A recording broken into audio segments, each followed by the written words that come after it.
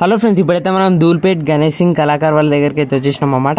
So చూడండి లోపల అయితే మనకు విగ్రహాలు అవుతున్నాయి సో చూడండి వీళ్ళ దగ్గర అయితే టూ టు ఫోర్ ఫీట్ వరకు అయితే ఉన్నాయి అనమాట సో చూడండి మనకు పగిడి ఇంకా మనకు వచ్చేసి ధోతి వరకు మనకి షాల్ మొత్తం కుందన్ వరకు మొత్తం అయితే మనకు స్పెషల్గా అయితే వేసి పెట్టిందన్నమాట సో మీ అందరికీ గణేష్ సింగ్ కళాకార్ తెలిసి ఉండొచ్చు. మనకు పెద్ద పెద్ద వినాయకులు చేస్తాడు. అన్న వచ్చేసి మనకి భారీ వినాయకుడు అయితే చేస్తారన్నమాట సో చూడండి మనకి నెమలి మీద వినాయకుడు కూర్చొని ఉన్నాడు అనమాట సో మనకు చాలా డిఫరెంట్ కాన్సెప్ట్తో అయితే అన్న అయితే వచ్చిండు. ఇక్కడ చూస్తున్న లాల్ బాక్క రాజా.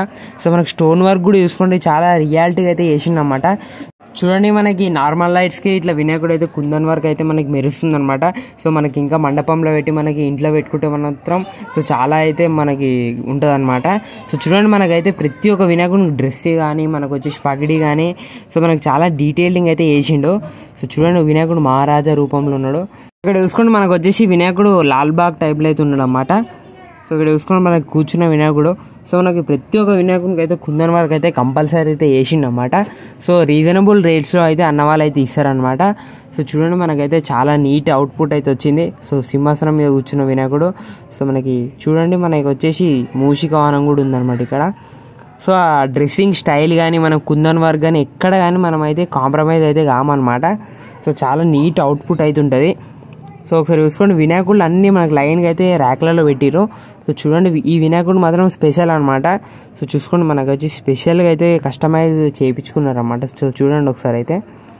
సో ఇక్కడ చూసుకోండి మనకు తొండం మీద మొత్తం మనకైతే జ్యువెలరీ వర్క్ అవుతుంది చూడండి వినాయకుడు ఎక్కడి నుంచి చూసినా మనకైతే మెరుస్తుండ అనమాట సో మనకు అంత నీట్ అవుట్పుట్ అయితే వీళ్ళైతే తేవడం అయితే జరిగింది.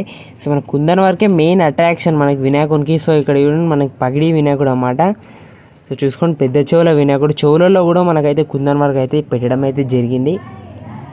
సో చూడండి మనకైతే అయ్యప్ప స్వామి రూపంలో ఉన్న వినాయకుడు అనమాట సో చూడండి కిరీటం మీద మొత్తం స్టోన్ వర్కే.